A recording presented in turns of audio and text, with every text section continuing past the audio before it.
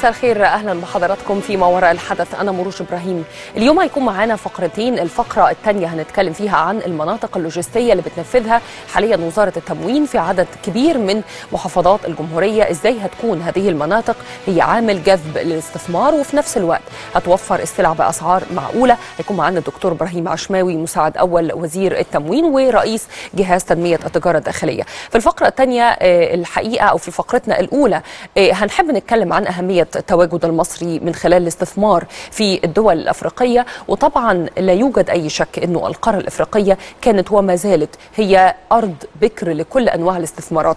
فوز شركة المقاولون العرب بمناقصة إنشاء سد ستاجلر جورج في تنزانيا بيعيد فتح صفحة الاستثمارات المصرية في أفريقيا مع ضرورة حث المستثمرين المصريين للتوجه إلى هذه السوق الواعدة حول مستقبل الاستثمارات المصرية في أفريقيا والتركيز تحديدا على يعني المناقصة اللي فازت بها شركة المقاولون العرب لإنشاء سد ستاجلر جورج في تنزانيا. هيكون معنا ضيفنا الكريم في الاستوديو دكتور عباس شراقي أستاذ الجيولوجيا والموارد المائية بمعهد البحوث والدراسات الإفريقية. دكتور أهلا وسهلا بحضرتك. أهلا بيك أهلا وسهلا. الحقيقة خبر سعيد بالتأكيد وخبر جيد بيعيد إلى الأذهان الدور الريادي لمصر في حقب سابقة في القارة الإفريقية.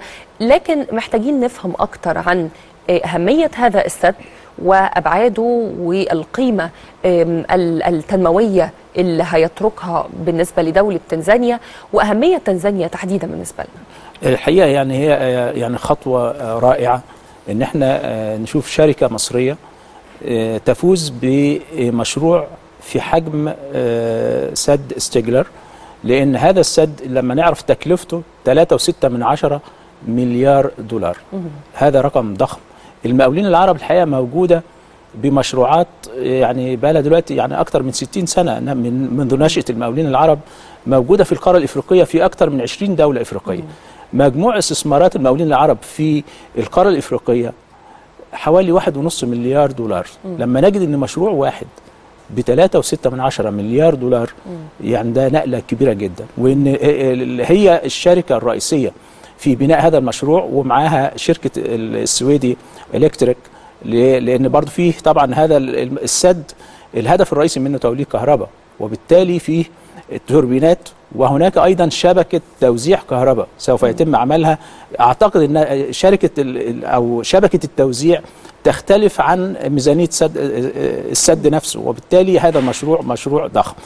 هذا السد ده هيبقى أكبر سد في تنزانيا. وهيولد كهرباء يعني حوالي 2100 ميجا وات مم. هذا الرقم يعني هو تقريبا هو قد كهرباء السد العالي مم. ولما نشوف كهرباء تنزانيا كدولة على فكرة يعني تنزانيا كدولة مساحتها تقريبا قد مساحة مصر مم. ما يقرب من مليون كيلومتر مربع عدد سكانها 50 مليون نسمة مم. كمية الكهرباء المولدة حاليا داخل تنزانيا 1500 ميجا وات. هذا الرقم متواضع للغاية. ضئيل جدا. بالظبط ده يساوي ما تنتجه محطة شبرا. و آه ولا يغطي بالتأكيد كل احتياجات تنزانيا لا طبعا. طبعا يعني من 70 ل 80% من الشعب التنزاني ما عندوش كهرباء. لأن 1500 ميجا على 50 مليون طبعا ما يعملوش حاجة. إحنا عندنا في مصر 45000 ميجا على 100 مليون. وبالتالي الفرق فهم دولة عندها نقص شديد جدا في في الطاقة لكن عندها المصادر. مصادر الطاقة المصدر الرئيسي للطاقة في تنزانيا هو الطاقة المائية. لأن تنزانيا بها كمية كبيرة جدا من المياه. صحيح. فيها عندها أمطار طول العام والحقيقة فينا مفارقة غريبة ولصالح مصر. إن الأمطار في تنزانيا معظم السنة ما عدا ثلاث شهور بتتوقف فيهم الأمطار. الثلاث شهور اللي بتتوقف فيهم الأمطار في تنزانيا هم اللي بتسقط فيهم الأمطار في إثيوبيا. وبالتالي إحنا مصدر النيل من مصدرين رئيسيين من بحيرة فيكتوريا وهنا تنزانيا ومن إثيوبيا. إثيوبيا 85% الوقت اللي بتتوقف فيه تنزانيا عن المطر بيكون بيبدأ بغزارة في إثيوبيا. ودي برضو الحكمة إن فعلا لو مياه إثيوبيا مع مياه تنزانيا لو بيجوا في وقت واحد بيحصل فيضانات كبيرة جدا. فاذا البيئة التنزانية بيئة جبال وعندها جبل كليمنجارو. ده أعلى قمة في القارة الإفريقية حوالي 6000 متر فوق سطح البحر. هذه الطبيعة الجبلية وأمطار تسع شهور في السنة وكمية الأمطار تفوق الأمطار في إثيوبيا. يعني بنتعدى الألف مليار متر مكعب أمطار هذه وبالتالي هي. لديها موارد ضخمة. بالظبط. إحنا لو تكلمنا على على موارد تنزانيا بمفردها ولو تم استغلالها لا تكفي القارة الإفريقية. يعني نقدر نقول إنه آه، دخول شركة المقاولون العرب بعد فوزها بالمناقصة اللي طرحت العام الماضي يقدر يكون بداية لعدد آخر من الاستثمارات آه، اللي ممكن تساهم في آه، ال- المنفعة للجانبين، مصر تستفيد الشركات المصرية سواء كانت حكومية أو خاصة وتنزانيا تستفيد. بالإضافة بقى للبعد الاستراتيجي الآخر وهو التعاون وتقوية أواصر التعاون بين الدولتين. وهنا عايزه أتكلم عن هذا البعد، يعني إيه البعد الاستراتيجي السياسي في دخول مصر في هذا المشروع العملاق ومساندتها لدولة آه، تنزانيا. الحقيقة آه، تنزانيا هي إحدى دول الحوض ال11 عندنا 11 دولة. من دول المنابع في ست دول, رئيسية منهم يعني بنتكلم على إثيوبيا وأوغندا وتنزانيا. تعتبر يعني الدولة الدولة رقم ثلاثة الرئيسية في من دول المنابع. تنزانيا يعني آه، دولة آه، لها كلمة في آه، حوض النيل. والحقيقة علاقتها بمصر طيبة للغاية. والمقاولين العرب موجودين في تنزانيا من سنوات سابقة مش أول مرة. ونفتكر زيارة المهندس إبراهيم محلب لتنزانيا في 2014 وهو كان رئيس الوزراء لأنه زار قبل كده تنزانيا ولها والمقاولين العرب لها مشروعات في تنزانيا زي بقية الدول الإفريقية زي تشاد وغينيا الأستوائية وغيرها. آه فالحقيقة ال- في تنزانيا يمكن عرضوا أيامها إن طبعا في مشكلة ما بين مصر ودول المنابع في اتفاقية عن-تيبي لو هناك بعض البنود اللي فيها خلاف. مصر غير راضية عنها. آه يعني في عندنا يعني حوالي بندين ثلاثة فيهم خلاف شديد. آه وبالتالي تنزانيا عرضت إن ممكن نفتح المجال مرة أخرى ونناقش هذه البنود. كون إن تنزانيا تتبرع من عدة سنوات إنها تقوم بهذا الدور وتناقش ال- البنود الخلافية من أجل عودة مصر إلى دول حوض النيل مرة تانية وخصوصا في اتفاقية عن تيبي ده يعني خطوة كبيرة جدا وخطوة مهمة. ويساعدها في كده علاقة مصر القوية بالكونغو إحدى الدول الأخرى وبالرئيس موسيفيني رئيس أوغندا. وطبعا عندنا بقى يعني ال- السودان. في هذه الحالة ممكن نبدأ فعلا ال- الحوار مع دول ال- الحوض ويعود التعاون مرة ثانية أيضا إحنا لنا بما إن آه، تنزانيا دولة لها يعني آه، قيمة. كبيرة بالنسبة لمصر مش بس مائيا. آه، وزارة الري لها مشروعات داخل تنزانيا بغرض ال- المساعدة. يعني إحنا بنحفر مجموعة من الآبار الجوفية لأن تنزانيا من الناحية المائية لديها الأمطار الغزيرة اللي ذكرناها أبار جوفية ولديها يعني عشرات الأنهار الكبرى. من هذه الأنهار وأيضا بحيرات. عندها بحيرات في بحيرة آه، فيكتوريا ودي أكبر بحيرة في القارة الإفريقية من حيث المساحة. وتاني آه، ومن أكبر بحيرات في العالم كمان. يعني أيضا عندنا بحيرة تنجانيقا موجودة أيضا. هذه البحيرة التنجانيقا فيها كم الكمية كبيرة جدا من المياه.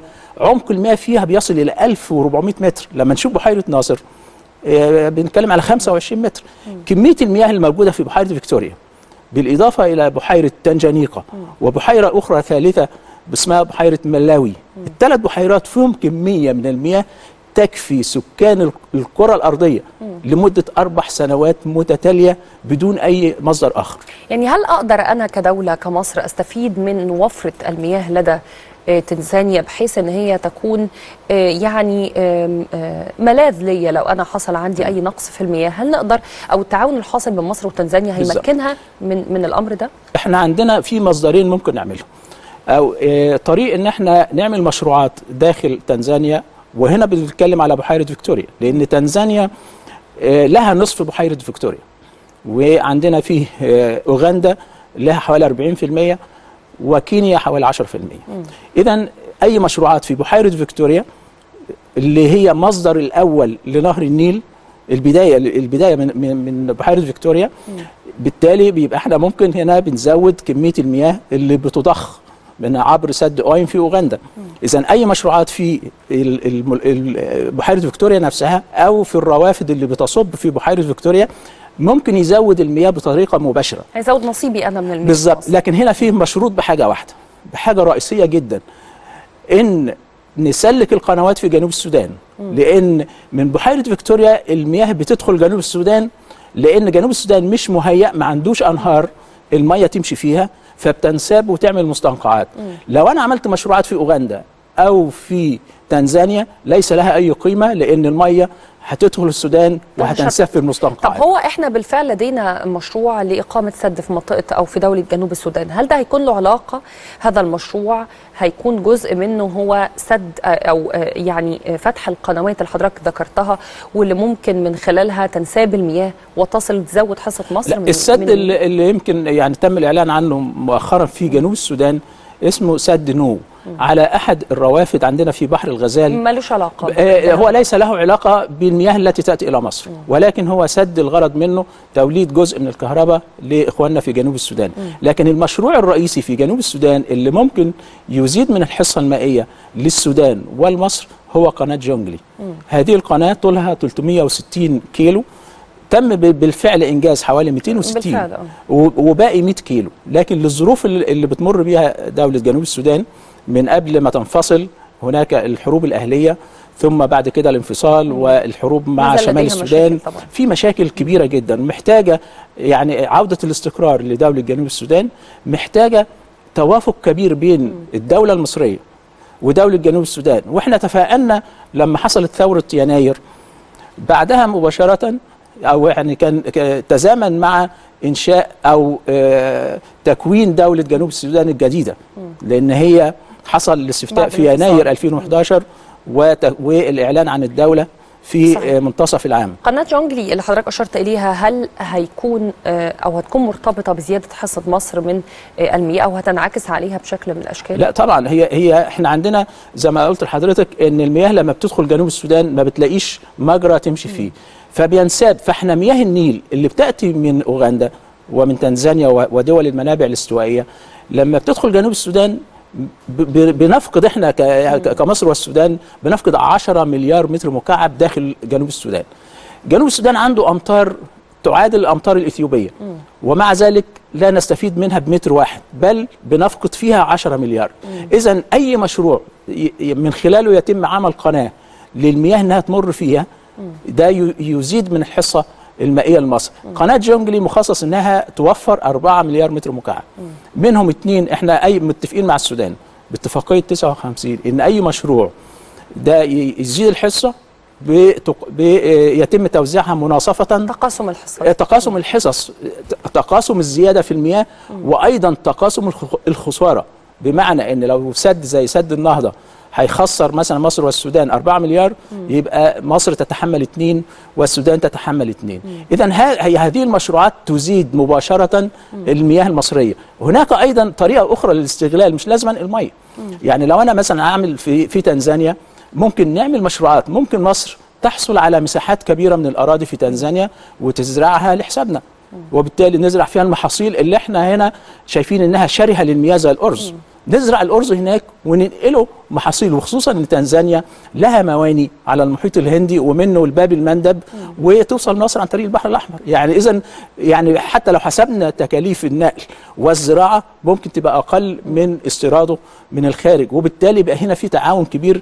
يبقى أنا نقلت مية بس بطريقة مية مجففة على هيئة حبوب. فاذا يعني بهذا الشكل نقدر نزرع هناك. أيضا غير ال- المحاصيل هناك الثروة الحيوانية. تنزانيا ثالث دولة في القارة الإفريقية في الثروة الحيوانية بعد السودان وإثيوبيا. وإحنا الحقيقة سايبينهم وبنجيب لحوم من البرازيل وغيرها. فلا يعني لهم حق إن هم يزعلوا. فبالتالي عودة للدول الإفريقية دولة زي تنزانيا نعمل فيها المشروعات بما إن إحنا ذكرنا دلوقتي إن ما عندهاش كهرباء يبقى عايزة مشروعات. عايزة بنية تحتية. ولما نقول بنية تحتية يبقى المقاولين العرب اتفضلوا. في طرق وفي كباري وفي مباني وفي محطات مياه ومحطات صرف ومشروعات ري. كل ده مطلوب حاليا في تنزانيا وفي. ومصر بتستفيد منه. طبعا في في استفادة هنا الحقيقة يعني التعاون في الحالة دي في استفادة للطرفين. إيه، تنزانيا تبنى من من جديد ويبقى في تنمية داخل تنزانيا.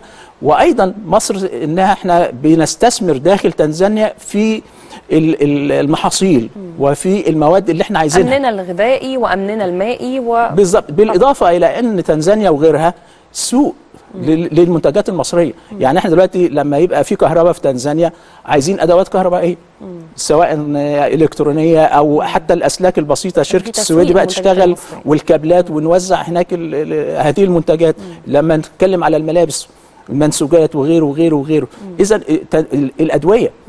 يعني الدول الأفريقية يعني ل- للأسف ال- الأمراض منتشرة فيها. فمحتاجة علاج محتاجة أدوية. ومصر الحقيقة رائدة في صناعة في مجال الأدوية بشكل كبير وباسعار. وبأسعار يعني لا تقبل. المنافسة صحيح. من الشركات الأوروبية. الحقيقة أنا بشكر حضرتك جزيلا دكتور عباس شراقي أستاذ الجيولوجيا والموارد المائية بمعهد المحيط والدراسات الأفريقية. شكرا جزيلا لمعلومات حضرتك ولوقتك معانا بتشكرك جزيلا. الشكر شكرا جزيلا لحضرتك شكرا لك